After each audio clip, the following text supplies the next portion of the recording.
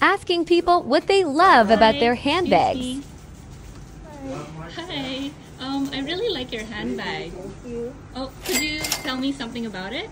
Um, sure. It's a Fauré Le Page.